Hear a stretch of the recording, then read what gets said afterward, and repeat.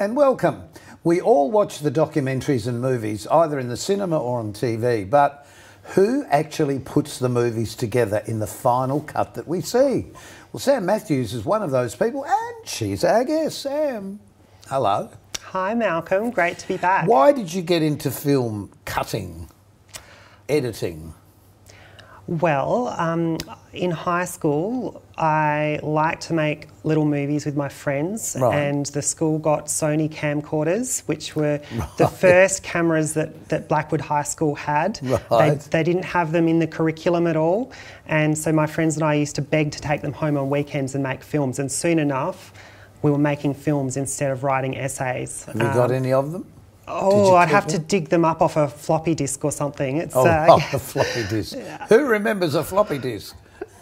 No, that's a bit of a lie. It was a CD, but still, how do you play a CD these days? It's hard. It's true. Well, it's true. I've been dubbing over all my old stuff to file, and I've got a VHS machine, but I'd previously dubbed from U-matic to VHS, and now then to uh, DVD, and now to file. Wow. So I don't know how many generations they've lost, because TV wasn't that sharp then. No, but they've got an amazing quality to them. If you go back and look, it really, you know, sets, fuzzy set, quality. well, it sets it in the era, doesn't it? Well, see, So I that- remember though actually physically cutting the film because it was all on film. Uh, not that, but we used to do a lot of outside uh, shooting of stuff. So the the little gate would be there with the film coming in, and you'd, you'd watch it as you pulled it through the screen to see where you're going to cut it, and then you'd cut it.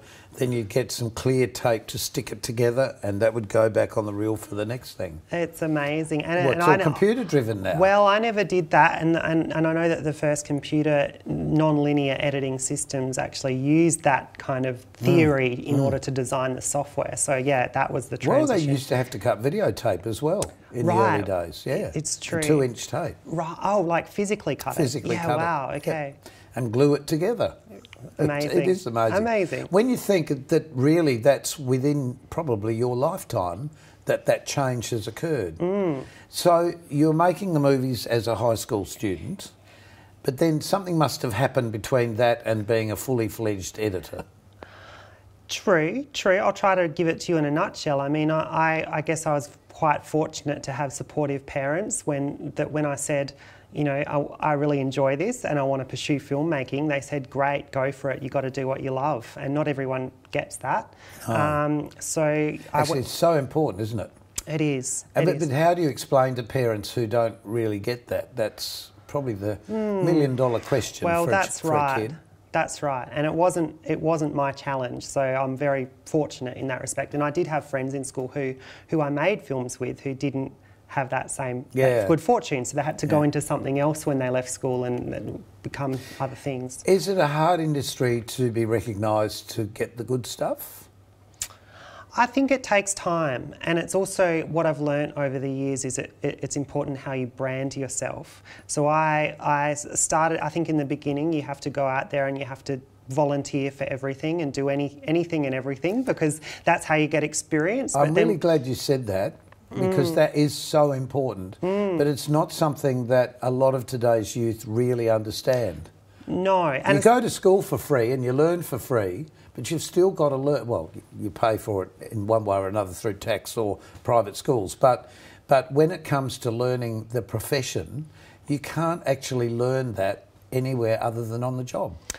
True, it's a stepping stone, isn't it? And, and, and you're right. The experience you get on the job is is indeed different to, to the experience you get studying. But hey, I think this set is almost as close as you can get to the real thing. I reckon for this kind of Oh, well, work. for TV It's, it uh, is, yeah, absolutely. yeah.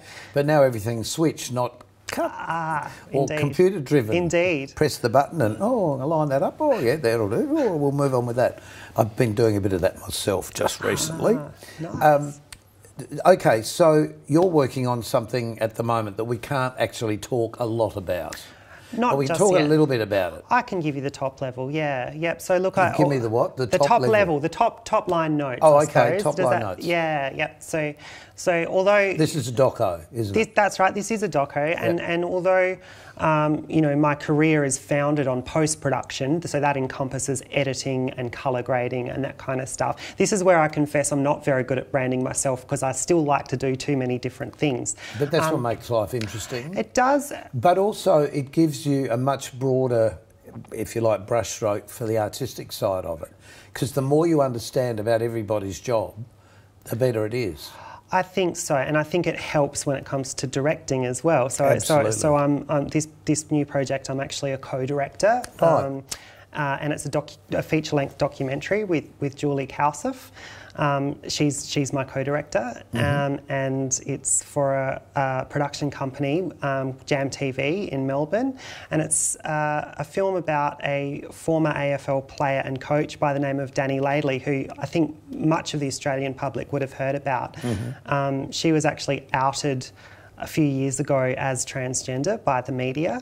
Um, so she's retired now. She's not a not a current player, um, but she kind of went through a horrendous time and also um, did some, she was, she was, I guess, at fault for, for quite a few things as well. So she, she um, I, I, don't want to go too deep into, the, into no, it, but there's some really interesting themes about the documentary that this kind of this this struggle with her identity that she's lived lifelong in a very kind of masculine industry. Oh yes, uh, in, and so. and in the public eye. Um, and, and, then it, her, her life got to a point where it was just so off the, the rails, um, and there were police involved, and she was abusing drugs and that kind of thing. So it's a very it's a very multi-layered is, story. Is that because and and we need to be clear about this? I guess you're also transgender. Indeed. But is this is this something that the public really need to embrace to really fully understand that we're not always born with the same equipment and brain? Together. Uh, absolutely. Is that a simple well, way to explain it? It is a simple way to explain it for sure. Yeah, yeah. And I, and I think the, the human population is incredibly diverse, and so far more so than than it's been credited for. I think over the years. True. And when you actually think about the act of of uh, reproduction generally, but when you think about what has to occur, because every egg cell is female, and so everybody starts as a female.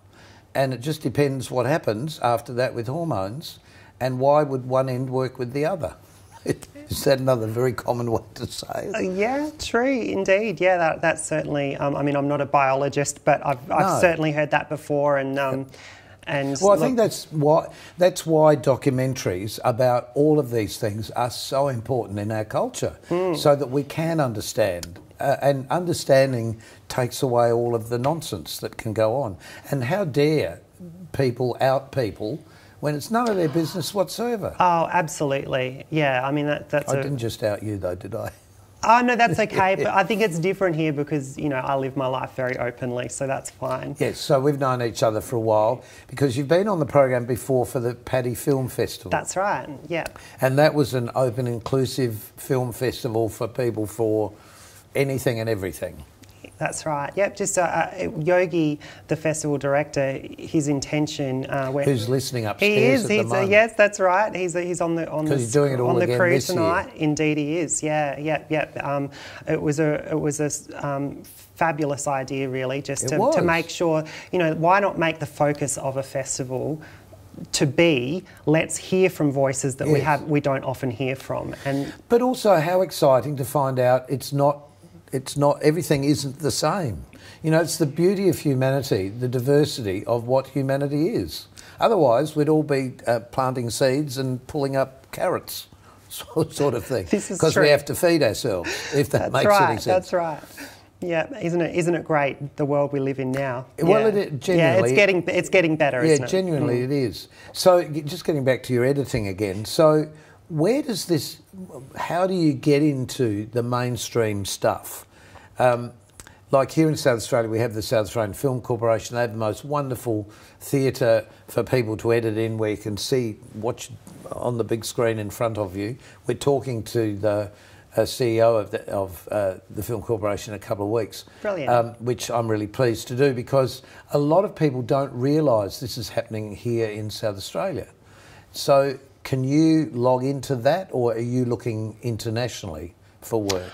Oh gosh, look, I, I think um, I mean the the industry itself is so diverse. So you know, it, it, it's from the kind of work that you do. For it can be, you know, it can be uh, branded content and TV advertising, web advertising, through to uh, you know film, feature film, drama, scripted con- narrative content, and, And also still free to air TV, uh, I guess. Oh, yeah, TV. Because that's um, still hungry. prime, free to air TV, prime time TV. Yeah. Like I, I mean, you know, when I back when I was studying. Um, you know, everyone wanted to be a feature film director or editor or, or what Or have actor, you. mostly. Yeah, and, and in drama, and it was all about about an, a, an amazing drama or comedy feature film. Um, but in the time since I was studying, that shift has really gone into to primetime TV and the streamers. You know, Netflix, Netflix Amazon, um, and so and the Netflix budget. probably a good word. Netflix, I like that. I might start a new company called Oh that. gosh, can we edit this out, all, please? No, no, no. For all, no, for all of the films that, that weren't successful, you can play them on Netflix. Oh, uh, Netflix. Netflix. All right, let's do it. or That actually change it Netflops. Perfect. So have we come That's up with a new better. thing? Yes, we have. so that means we have to take a break right now because we're going to come up with more in a minute.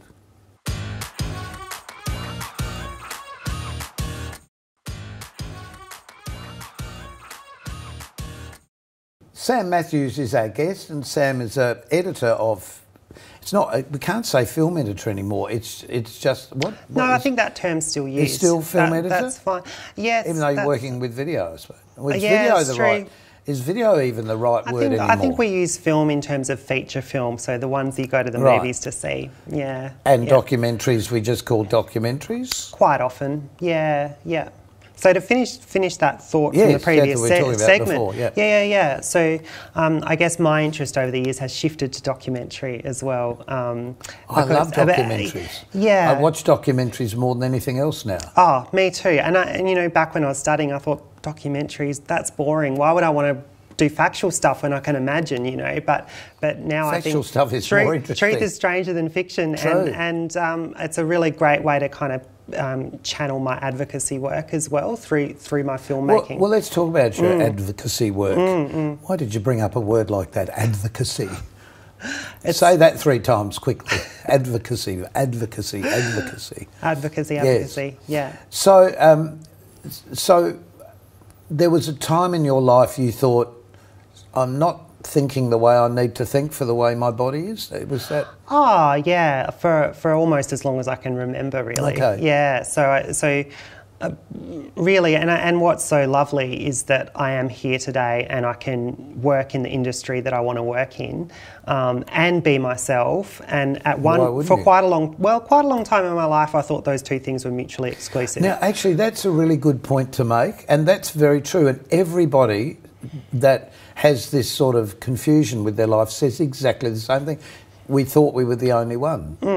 yeah. Is that how you felt? Oh, absolutely. And I think, it, you know, if it weren't for the internet, it would have been so much harder to, to, to figure myself out and, and know that there are other people like me. How did your parents? Uh, did your parents pick this before you told Um, them? No, no, I, no, they didn't. I don't recall them mentioning. So, I, I mean, I've been out now for about 10 years. So I, I transitioned when I was 26, or that, that's when I began anyway. So it's a Into- yeah, it's a bit of a fraught term transition because it's kind of like I did it and then it was done, but that's not that's not really a thing. It's kind of it's a No. life journey, I think. It is a life journey. Is that late? Do you think? Mm. Oh gosh, I think I think uh, you probably speak to anyone like me, and they'll always say they wish they'd done it earlier. It doesn't matter what age they are, really. Right. Um, so I, you know, I, I try not to to kind of have too many regrets. No, well, we're all alive. Yeah. Why regret anything? We're all In- alive. that's right. And every experience we've had has helped us to understand life better, I think. That's right. But so, when did you identify this within yourself? Did you? Hmm. Did, was there a point of time you thought, "Ah, I get it now. That's what I'm here for." Oh, here for that's. I mean, that's that's um, really is leaning into the advocacy word, isn't it? I mean. I, I, I guess you know it, it just. I, I mean, I am who I am, and I think that wrote a song about that. is that right? Yeah, I, I am who I am, or what I am. What I am. Ah, right, nice. Um, yeah, I mean, I, I um, I think it just took me a long time to be comfortable with who I am. So, so that was did, the did you have help along the way? Uh, Were there professional uh, people yes, that helped? Yes, very few at the time in Yes. Adelaide. One one psychiatrist who um, Yeah. I went went on a waiting list for a very long time to see, and then I saw him. Um, and then it was also a process of connecting with community. But when I first reached out to the trans community in Adelaide, which was very small in terms of you know those who gather at the Mm. time. I remember going to that first meeting and I and my hand was shaking. They offered me a glass of coke and I was so nervous to be there because I I didn't want to accept the label. I didn't want to accept that this is who I was. So, yeah. See, that's really interesting. I didn't want to accept the label.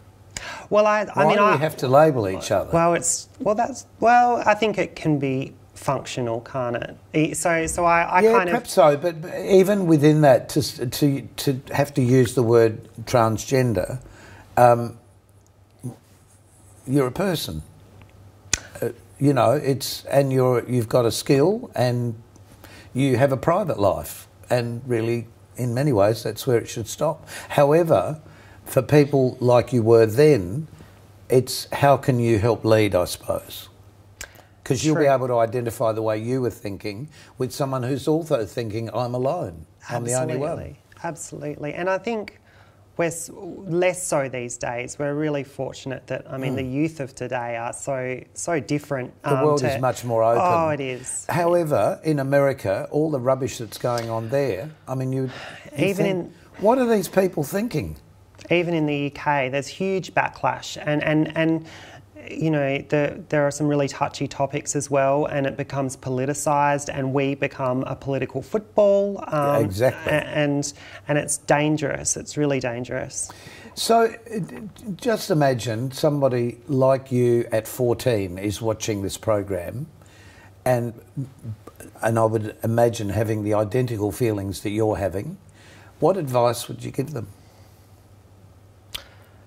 That's that's a really tricky age because it's an age where you're, you're possibly going through puberty. Puberty, Um, you may So or may even more you, confused. well, well, yeah. I mean, puberty's hard for anyone, right? Yeah. So, and then it's also about you know your parents. Your parents still make decisions uh, about your life, and are your parents supportive? Um, and then you've got your school community as well, and is your school community supportive? So it's a really tricky question, and I. I wish I could make it better for them, to be honest. But I, I, I think they. By, t- by talking like this is making it better. Oh, good. No, really. Uh, yeah, I hope because, so. Because you. have actually made a really valid point. This is a really tricky age for all humans because Mm. we're all going through a transition, changing from childhood to adulthood. That's right. That your body's doing things that you don't quite understand. Your emotions are literally on your sleeve. Mm.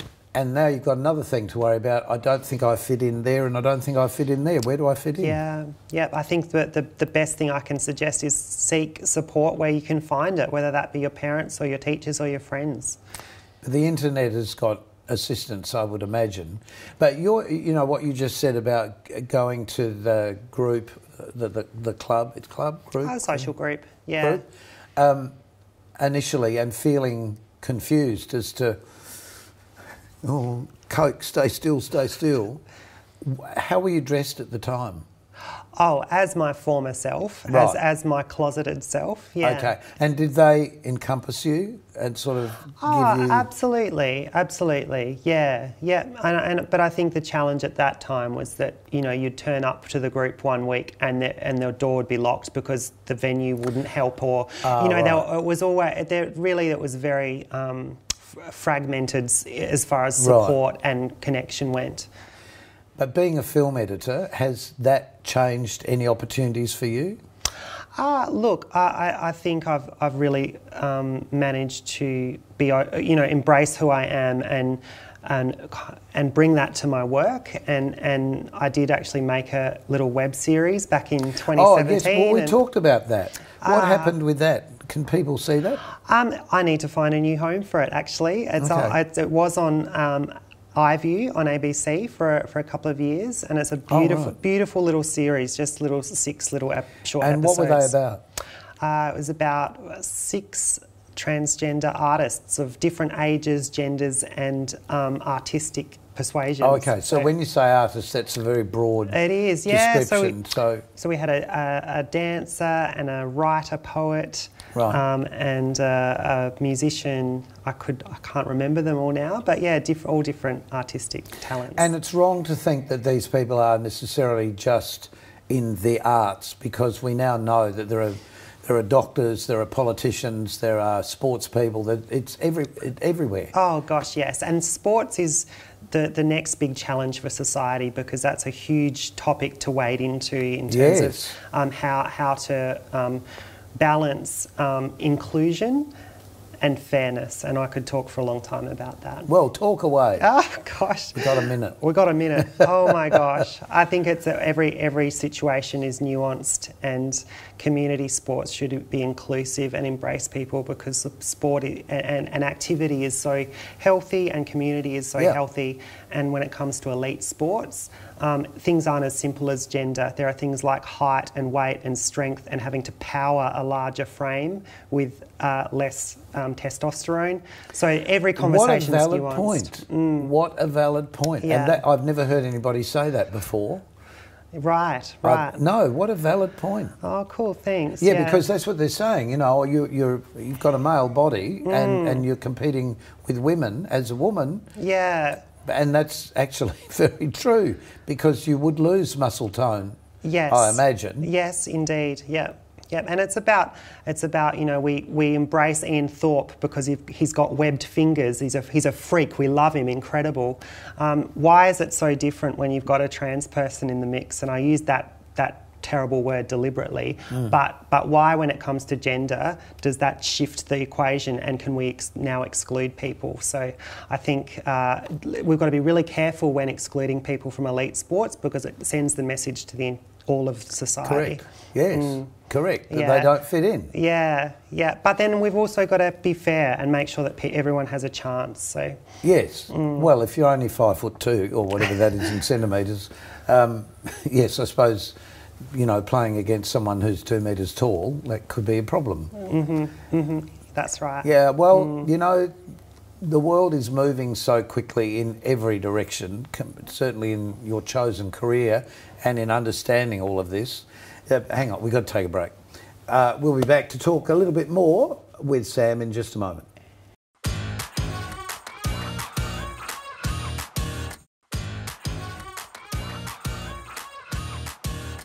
Our special guest has been Sam Matthews, editor and all round good person. Thank you so much. We're just saying, I just said to you, is there anything you'd particularly like to say in our last segment of all the things you've done Oh, um, and your advocacy? oh gosh, I just I, I think the message really is just to to be yourself, do what you love. Um, Ask for a- help if you're ask- confused. Ask, for help, um, and there's a place for you. You can do anything. Yeah. As you've proven. Oh gosh, thank you. Shucks. No, no, but it's great. And look, I hope you have great success. This doco, which we can't talk too much about until it goes to air, but um, It's going to Stan, by the way. Okay. So keep an eye out on Stan. okay. But you're watching this as you're editing it, and has that helped you in any way? Has that helped you understand better, or or has it helped? Uh, as you've put all this together, because you've got the final Mm. say in what it looks like. I mean, that's the editor's job. Uh, well, in fact, I'm actually uh, co-directing this, so I have to give credit to my my editor David Scarborough on this job. So it's a slightly different role for me. And, Right. uh, um, but you're sort of in sure, between it's the a, two, It, yeah. It's yeah, it's a it's a collaboration. Yeah. Um, so I'm learning a lot um, for, for ha- in having this slightly different role and, and how to tell a story in a way that uh, will relate. People will be able to relate to. Yeah. I like the fact you just said I'm learning a lot. Isn't Mm. that great in life? There's always something new to learn. Always, always. Can't know it all. That's right. So, when you grow up, what do you want to be? Oh gosh.